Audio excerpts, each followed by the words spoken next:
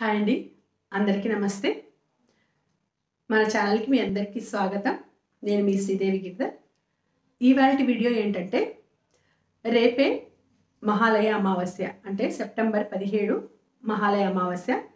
ఆ రోజున పన్నెండు గంటలకు మధ్యాహ్నం అంటే మధ్యాహ్నం పన్నెండు గంటల నుంచి పెద్దలకి అంటే పితృదేవతలకి తర్పణాలు అనేవి వదులుకోవాలి. అలా వదులుకోవడం వల్ల వాళ్ళ ఆశీస్సులు మన కుటుంబానికి మన వంశానికి చాలా బాగా వాళ్ళ ఆశీస్సులతో చాలా బాగా సంతోషంగా సుఖ సంతోషాలతో ఉంటారు అని పెద్దలు చెప్పారు.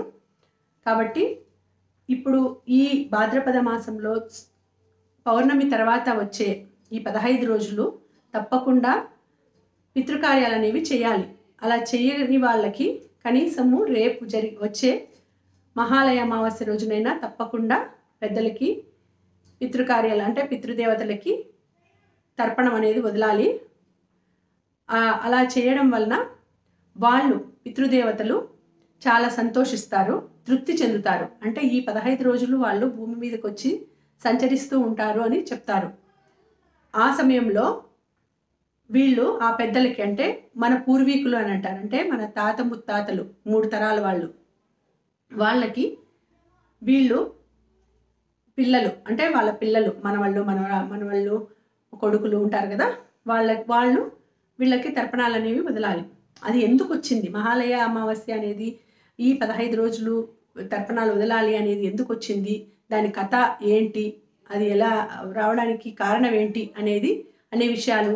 తర్వాత మనము ఈ పితృ తర్పణాలు పితృదేవతలకి తర్పణాలు వదులుకోవడం వలన జరిగే లాభాలు ఏంటి? వదులుకోకపోతే ఏం జరుగుతుంది? అనే విషయాలు కూడా ఇప్పుడు తెలుసుకుందాము. ఇంటిలో మంచి వాతావరణం ఉంటుంది. తర్వాత వాస్తు సమస్యలు ఏమీ ఉండవు. అయినా కూడా ఏవో ఒక సమస్యలు వస్తూ ఉంటాయి. ఆకస్మికంగా సమస్యలు వస్తూ ఉంటాయి. ఏం జరిగిందో అర్థం కాదు. ఎందుకు అని ఆలోచిస్తుంటారు. ఇవన్నీ కూడా పితృదేవతలకి మీరు తర్పణాలు వదలకపోవడము వాళ్ళను సంతృప్తి సంతృప్తి పరచకపోవడమే ఇలాంటి విషయాలన్నీ కూడా ఇలాంటి విషయాలన్నింటినీ కూడా మా నాన్నగారు అయిన శ్రీ నులుగుం అరుణాచలరావు గారు ఇప్పుడు తెలియచేస్తారు. అవన్నీ తెలుసుకొని మీరు కూడా అందరూ ఆచరించండి. బాగా మంచి శుభాలను పొందండి. ఓకేనా? ఇంకా వీడియోలోకి వెళ్ళిపోదాము. వచ్చేయండి.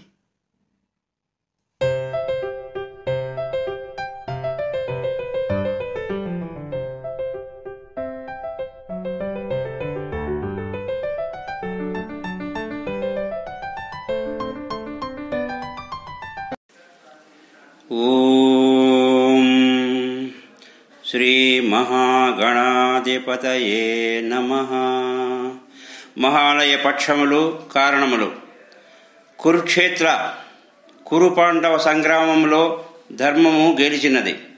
కర్ణుడు యుద్ధములో వీరమరణము పొంది స్వర్గమునకు వెళ్ళొత్తున్నాడు.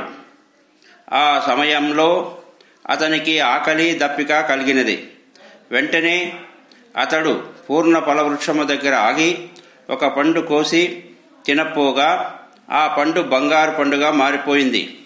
ఇలా జరిగిందేమిటి అని విచారించుతూ కొద్ది దూరంలో ఉన్న కొలను నుంచి నీరు త్రాగుదామని ప్రయత్నించగా అవి కూడా బంగారుగా మారిపోయాయి. ఈ విధంగా కర్ణుడు దుఃఖితుడై తన తండ్రి గారైన శ్రీ సూర్య భగవానికి జరిగిన సంఘటన తెలిపాడు. వెంటనే సూర్య భగవానుడు నీవు భూలోకంలో బంగారు వెండి దానాలు చేసి దానకర్ణుడవని పేరు పొందినావు. కానీ అన్నదానము చేయలేదు. అందువల్ల ఈ విపరీతము జరిగినది. నీవు భూలోకానికి తిరిగి వెళ్ళి అన్నదానములు అలాగే పితృతర్పణములు శ్రద్ధగా ఆచరించి తిరిగి వస్తే తప్పగా నీ ఆకలి దప్పులు తీరుతాయి అని చెప్పాడు. కర్ణుడు అలాగేనని వెంటనే భూలోకానికి వచ్చి అన్నదానంలో తండ్రి బంధు గురువులకు పదహైదు రోజులు తర్పణాలు పిండ ప్రదానములు చేసినాడు. ఆ కార్యము భాద్రపద మాసము కృష్ణ పాడ్యమి నుంచి అమావాస్య వరకు శ్రద్ధగా ఆచరించిన దానివల్ల ఆనాటి నుంచి మహాలయ అమావాస్య తిథులు అనే నామము సార్థకమైంది. ఈ మహాలయ అమావాస్య గురించి కొన్ని విషయాలు చెప్పదలుచుకున్నాను. భాద్రపాద మాసంలో వచ్చే అమావాస్యను మహాలయ అమావాస్య అంటారు. పౌర్ణమి తర్వాత వచ్చే తిథులను పితృ తిథులు అంటారు.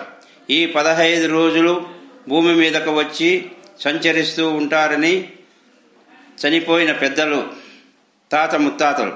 ఈ పదహైదు రోజులు వాళ్ళకు భక్తిగా తర్పణాలు వదులుకోవాలి. పితృపక్షాలు అంటే పదహైదు రోజులు. పితృదేవతలంటే చనిపోయిన పెద్దలు. కాబట్టి ఈ పదహైదు రోజులు చేసే కార్యాలను పితృకార్యాలు అని ఈ రోజులను పితృపక్షాలని అంటారు. ఈ పితృపక్షాలలో చేసే తర్పణాలను పిండ ప్రదానాలకి చాలా విశిష్టత ఉంది. ఎందుకంటే మనం చేసే ఆ కార్యాల వల్ల మన పితృదేవతలు మన పూర్వీకులు సంతృప్తి చెంది మనకు ఏ అడ్డంకులు సమస్యలు లేకుండా సుఖ సంతోషాలను ప్రసాదిస్తారు. అదే మనం మన పితృదేవతలకు సరిగా తర్పణాలు వదలకుండా పిండ ప్రదానం చేయకుండా ఉంటే వాళ్ళు తృప్తి చెందకుండా అసంతృప్తి చెంది వెళ్ళి మనకు శాపాలు పెడతారు. ఆ శాపాలు మనకు తగులుతాయి అంటూ ఇది శాస్త్రం చెప్పిన మాట. ఈ పదహైదు రోజులు తర్పణాలు వదలని వారు కనీసం చతుర్దశి అమావాస్య నాడు తర్పణం వదిలి ఒక బ్రాహ్మణుకు స్వయం పాకము ఇవ్వవలను. పూర్వీకులను తలుచుకొని స్వయం పాకము అంటే బియ్యము బేడలు బెల్లము కూరగాయలు ఇచ్చి దక్షిణ తాంబూలం ఇచ్చి నమస్కరించి వచ్చిన పితృదేవతలు సంతృప్తి చెంది మిమ్మల్ని దీవిస్తారు. మీరు కూడా పుత్రపౌత్రులతో సుఖ సంతోషాలతో వర్ధిల్లుతారు. అలా కాకుండా మీరు ఏమీ చేయకుండా ఈ పితృపక్షాలలో ఉంటే వారు ఆగ్రహానికి లోను కావలసి వస్తుంది. మీరు అప్పుడు ఎదురు అయ్యే పరిస్థితులు ఏమిటి అని ఆ పరిస్థితులు ఇప్పుడు మనం తెలుసుకుందాం. వాటి వలన కలిగే నష్ట కష్ట నష్టాలు ఏమిటి అని. కుటుంబంలో ఆర్థిక ఇబ్బందులు అనారోగ్యము యాక్సిడెంట్లు జరగడము పిల్లలలో దుష్ప్రవర్తన మానసిక అనారోగ్యము ఎన్ని ప్రయత్నాలు చేసినా వివాహం కుదరకపోవడము భార్య భర్తల మధ్య కలహాలు సంతానము కలగకపోవడము జరుగుతాయి. మహాలయ అన్ని శ్రద్ధగా ఆచరించడం వలన కలుగు శుభములు. లక్ష్మీ కటాక్షము కలుగుతుంది. సంతానము కలిగి వంశము అభివృద్ధి అవుతుంది. సకల సౌఖ్య సౌభాగ్యములు కలుగుతాయి. మీరు అనుకున్న కోరికలు నెరవేరుతాయి.